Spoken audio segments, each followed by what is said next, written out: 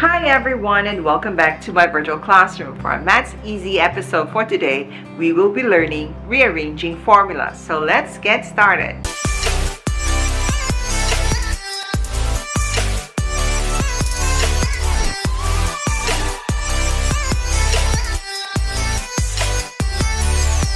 Our topic for today is rearranging formula. Now, there are things that we have to remember when we do rearranging or changing the subject of the formula. Now, first thing is do not rush it. You must go through each stage of your method and not try to skip anything. And if you are making x the subject, it means that you want to end up with x equals, and this is the only x in your answer and the rest will be on the other side of the equation.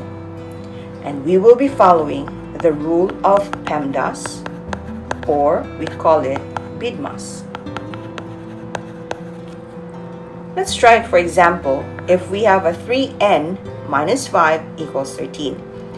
In linear equations, when we are looking for n here, we have to remove all the other constants and place it or transfer it to the other side of the equation. So to eliminate minus 5 on the left side of the equation, then we have to add 5. And since we added 5, which is not part of the original equation, we need to do the same thing on the right side of the equation. So we add 5 here, we also add 5 here. So that's 3n minus 5 plus 5 is 0 equals 3, 13 plus 5 will be 18.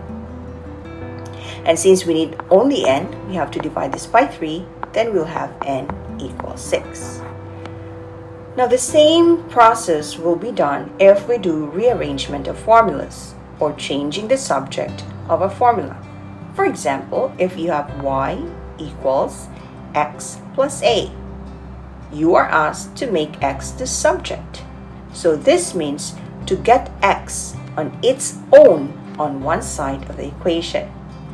So by doing that, since x here has a positive a, we have to take that a on the other side of the equation, which means we have to subtract a, or transfer it, it becomes subtraction. So you have y minus a equals x plus a minus a. So plus a minus a will be 0, so you'll have y minus a equals x x is now on its own on one side of the equation. You may want to put the subject on the left-hand side, so it will be the same as x equals y minus a, but this is not necessary. How about if we have a, let me just rewrite this, a equals x plus cx over d. Now you want to make or rearrange the formula so that x will be the subject.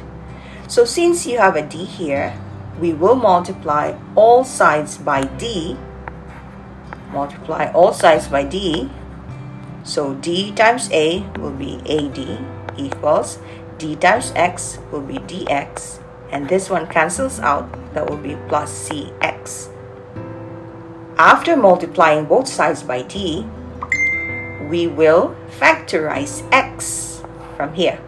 So this will be AD equals x, which is common between the two. You'll have d plus c. And then we will divide this by dc. Therefore, x will be equal to AD over d plus Now let's try more examples. Let's say you are asked to rearrange the formula A equals 1 over P plus 1 over Q and making P the subject. So since this is a fraction, we will multiply both sides by PQ. So multiplying both sides by PQ, you will have PQ you will have APQ equals P will cancel here so that's 1 so it's Q plus q cancels here, so you're left with p. That would be p. After which, we have to rearrange to get all the p's on one side of the formula. So to move this p to the left side, we have to subtract p on both ends. A PQ minus P equals Q plus P minus P. So you have A PQ minus P equals Q. Now since you only need P, we will factor out P from this side on the left side. P AQ minus 1 equals Q. Therefore, your final answer after this will be P equals Q over AQ minus 1. Let's try another example. If you are asked to rearrange a formula where you have a square root, now the same thing, a square root, when you transfer, it becomes a square. So if you want to rearrange this to make t the subject, first is since you have s equals b plus the square root of t over p, we have to subtract b from both sides. So you will have s minus b equals b minus b plus the square root of t over p. So you will have s minus b equals square root of t over p. Then we square both sides of the equation. Both sides of the equation, you will have s minus b bracket square equals square root and square cancels out t over p. Now since you need t, you have to multiply or rearrange by multiplying it with p on the other side.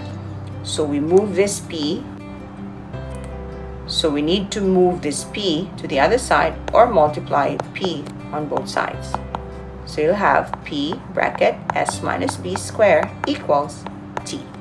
Therefore, t is equal to p times s minus b squared. I hope that you have learned something from our episode for today. And if you do, please don't forget to click the subscribe button and hit that notification bell for your attendance today. And as always, as Teacher Maria would say, please do live your life to the fullest, learn something new every day, and love one another as how our God loves us. See you next episode for our Maths Easy series. Bye!